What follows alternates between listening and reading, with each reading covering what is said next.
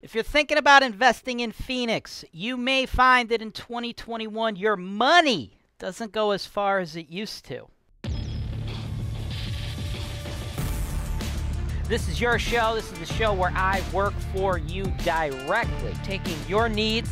I'm going through the MLS and I'm trying to find the best possible deal for you guys. Put down 25%. That's the perfect way to buy this. That's why real estate investing is the greatest industry in the world. Welcome to another episode of the MLS Search and Analysis Show. I'm James Wise. I will be your host.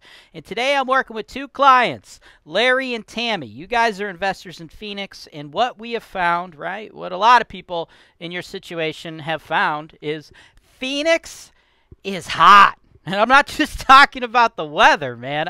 The pricing in real estate in Phoenix in 2021, dude, it is through the roof, right?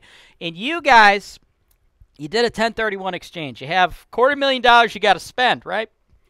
But you don't want to do it in Phoenix because your money does not go that far in Phoenix. So you come to me, you come to Holton Wise because I can help you invest that money in lower cost markets, markets where you can stretch your money much further. And today we're going to be going over a quad that the pricing is unlike anything you would have seen in Phoenix. And of course, my company will be able to handle everything on the ground for you the property management, maintenance, insurance, etc. Let's jump into that after this quick commercial break. Hey lenders, are you looking to be part of our referral program? If so, send us an email at sales at holtonwise.com.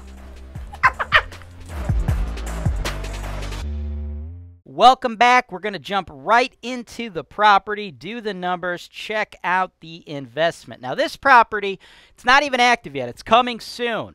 3221 Poe Ave, Cleveland 44109, right? As you see, zero days on the market, right? Uh, what they're doing, it looks like the listing agent and the seller, they're creating a bidding war, right? As I talk to you guys today, what is it, like the 5th, I think? Hold on, let me. I don't even know what day it is. Yep, it's the 5th, okay? As I talk to you today, it is the 5th. What they've done is they've placed this on the market and they've said, hey, we're going to get multiple offers. We're going to respond to all those offers on the 18th, right? So we have a considerable amount of time between now and then. So what that seller and that listing agent what they're trying to do is they're trying to to develop a bidding war, right? They want to make sure they expose the property to as many investors as they possibly can to drive that price way up. And what they did is, you know, fairly clever. I kind of like it actually as a strategy. They priced it at 179, right?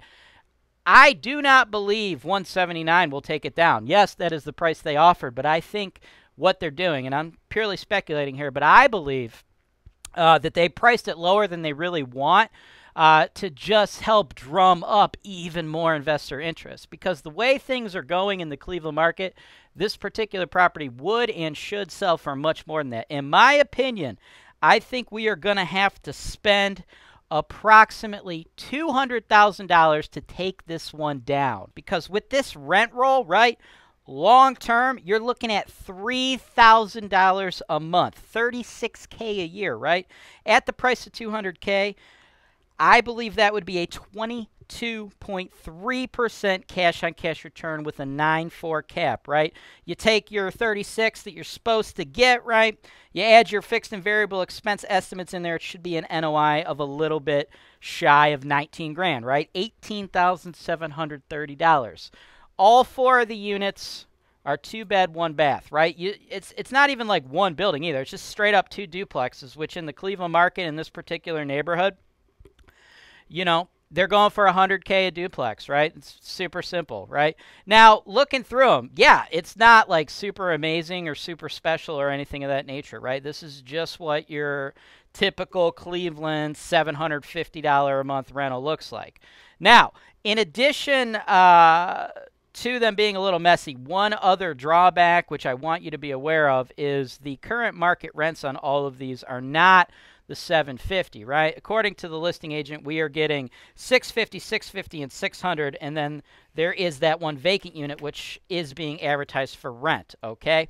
So I do not believe at this moment any uh, repairs are needed. But again, as you can see throughout all the photos here, It is not like the the Ritz Carlton or anything of that nature, and it's not a new building, right? These two buildings are, are pretty old; they're over hundred years old. So, when you do your inspection reports, folks, you have to understand what you're buying, right? You're buying a hundred year old property that is, you know, it's going to have some issues, right? You're going to see an inspection report with deferred maintenance all that stuff taken into account is why I still believe you need to spend $200,000 on this. Do I think you're going to get two brand new roofs? No.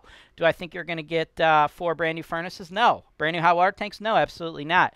But the return, the money, the numbers, it just makes sense. There's going to be a ridiculous amount of bidders on this. Another thing about this neighborhood, too, I consider it to be a, a high D grade neighborhood but it is my favorite neighborhood in the Cleveland market, right? And those people that watch my show frequently, you guys know I talk about this, right? This is the property.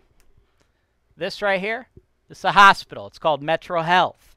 They're investing a billion dollars into that campus in the surrounding Clark Fulton neighborhood. You are a hop, skip, and a jump. If your tenant was walking their dog, they could easily walk their dog to that hospital billion dollars going into that hospital, this neighborhood. They've even committed to doing low income housing. You take that fact coupled with the fact that this neighborhood is just south of some other neighborhoods that have seen a lot of gentrification over the years. Your Tremont, your Ohio City, your Detroit Shoreway, your Edgewater, right? Locale, you're right bordering those nice neighborhoods, and you're getting a billion dollars injected into this particular neighborhood. I love this area. If I'm going to bet on a low income neighborhood in the entire Cleveland market, having the most chance of appreciation and, and, uh, becoming a, a, a gentrified and higher income area, this is the neighborhood I'm going to bet on. Now, that's speculation, of course. Will that happen? It remains to be seen. But if we're doing speculation, I like to speculate when I see actionable steps taking place. So for that reason, I'm high on this uh, this quad, this set of duplexes. I think they are a solid deal, and I think you're going to need to come at least twenty-one thousand dollars over the list price to take them down. Thanks for watching. Subscribe to Holton Wise TV for more financial information, education, and entertainment.